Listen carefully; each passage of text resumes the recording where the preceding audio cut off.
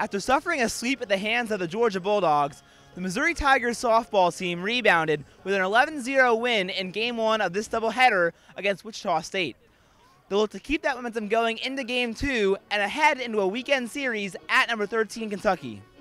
After being shut out in Game 1, the Shockers were looking for offensive improvement, but ultimately it was the Tigers' bats that would align yet again. Pick it up in the first inning, Chloe Rathburn doubles into the gap, and Sammy Fagan races home all the way from first, sliding in just ahead of the throw to give the Tigers a 1 0 lead. Now in the second, Mizzou is up 3 0, and Rathburn again provides the offense, singling in two more runs to reach 3 RBI on the day. She would go 3 for 4. Leading off the bottom of the third, Kirsten Mack drops a bomb to center field. That puts the Tigers up six runs, Mack went one for two with two walks, and the Tigers, they're putting on an absolute clinic at the plate.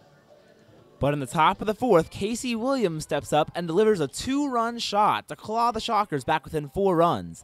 That, however, was the closest Wichita State would get, as the Tigers' pitching staff allowed just four hits all game. But Emily Crane put a halt to the Shockers' momentum, hitting this solo shot to put the Tigers up 7 2, and Mizzou would go on to win the game 9 2.